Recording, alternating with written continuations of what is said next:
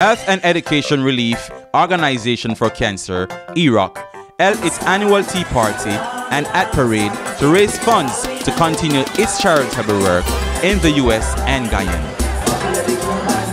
We're planning to take this movement worldwide, wherever we're, you know, people invite us to come. Dancehall against gun violence. Mr. Vegas visited John Dewey High School to discuss the seriousness of bullying and gun violence in schools.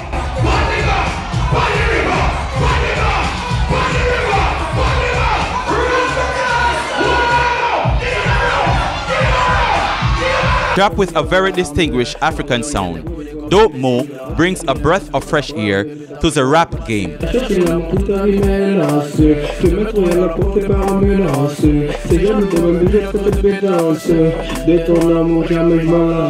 How far you really want to take this EP? Way up there. Up, up. Way up there. Way Way up to the there. The sky ain't even the limit. You know what Yeah. I'm saying? We're trying to push it to another planet or something, you dig? Remembering Lowell Arthur, who would have turned 58 years young on May 1st.